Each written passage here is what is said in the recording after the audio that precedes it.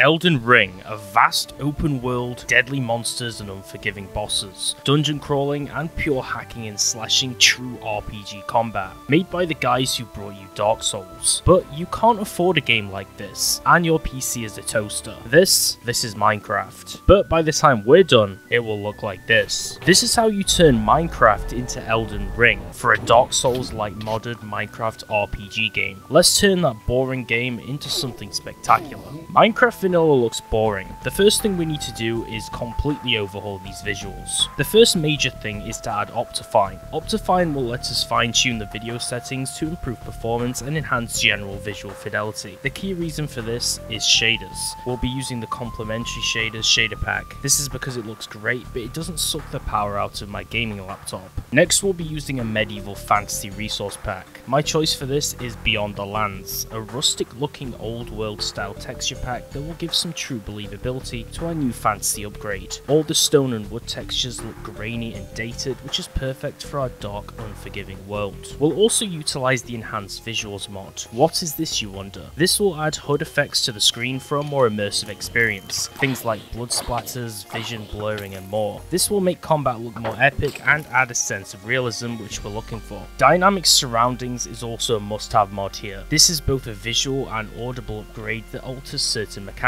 We're talking changes to the sound levels and additional particles when it's raining, overhauled storm intensities with dust storms in deserts, aurora borealises in the sky at nighttime, fire jets and bubble jets over hot liquids, block specific sound feedback like the cracking of ice and dampening and echoes underground. This generally makes our mod pack feel like a AAA game because it's best not to ignore sound design. Dynamic trees will also make the trees in the world look far more detailed and realistic, with multi-part segments and branches for a deeper shape and appearance to them, with improved behaviour. We'll pair this with the Falling Leaves mod to add some additional particles to make the seasons more enticing and less bare bones so trees appear to be shedding their leaves naturally like they do in reality. The RPG HUD mod is important in simulating the RPG title experience through the use of many on-screen HUD based elements, such as a different and more improved UI theme with different health and XP bars, an improved HUD bar for the status effects and buffs, visual overlays for the health of targeted mobs, and much more. We'll also use the camera overhaul mod. This will make the camera system feel much more fluid during movement via the introduction of various camera rotations which will emphasize the player's movement and improve visual feedback when strafing, moving forwards and backwards, or jumping or falling, which will all pan the camera and affect its pitch and tilt. Oh the biomes you go will be the choice of world gen mods here, in terms of adding some more biomes. This is a simple mod that expands our biome index by adding 80 plus brand new biomes of alternative styles and themes to make the world far less boring. Now to make our world more exciting to explore and pillage we'll need to add some structures. After all, Elden Ring and the Dark Souls franchise are RPG games which are based entirely on dungeon crawling and exploring, so we'll add some dungeons. We'll be adding mods here like Dungeon Crawl, Wesley's Roguelike Dungeons and Castle Dungeons. These mods will mostly add underground dungeons, labyrinth-like chasms that wind under the earth with different rooms full of monsters and mobs and a ton of loot to plunder. Some of the mods adding castles and keeps on the surface that are guarded by knights and villagers. This will really flesh out our world. Now that our world looks visually beautiful, let's darken things up a little. We'll be focusing on improving the combat system because this is the most crucial part of a Souls-like title. Minecraft Vanilla's combat system is boring, let's be honest. To combat this, we'll install the Epic Fight mod. This transforms the vanilla combat system into a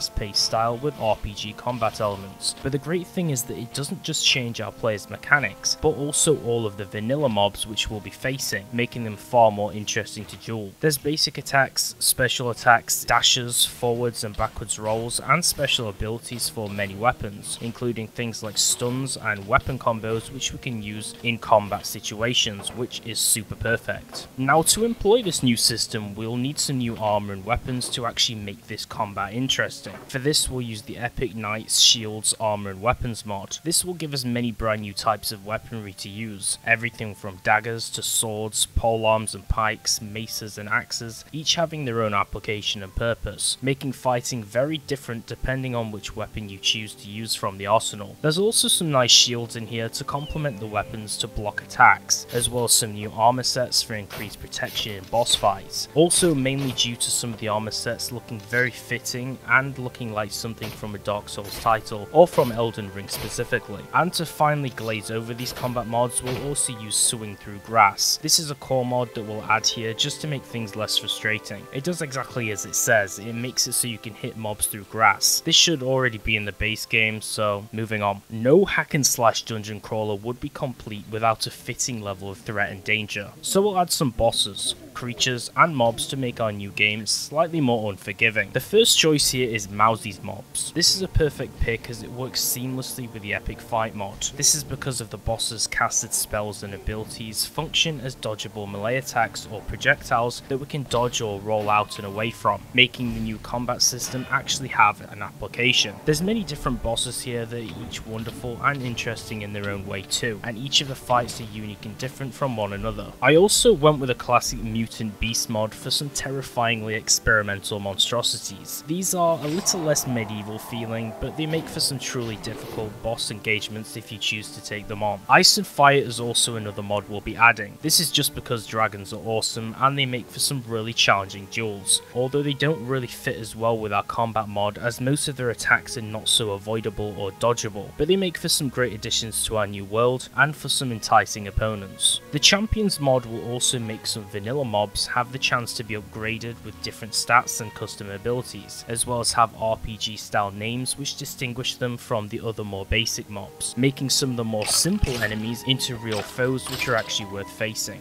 Of course I'll add some extra mods and utilities to flesh out this experience which I didn't cover here just to make the mod pack a little bit more enjoyable and stable. It's time to showcase some gameplay of our final result, but first make sure to check the description down below to actually download this mod pack if you want to try it for yourself. I'd recommend playing it on custom maps just like I did in this demonstration. Make sure to like the video and subscribe and also drop a comment below any games that you want me to transform Minecraft into next time.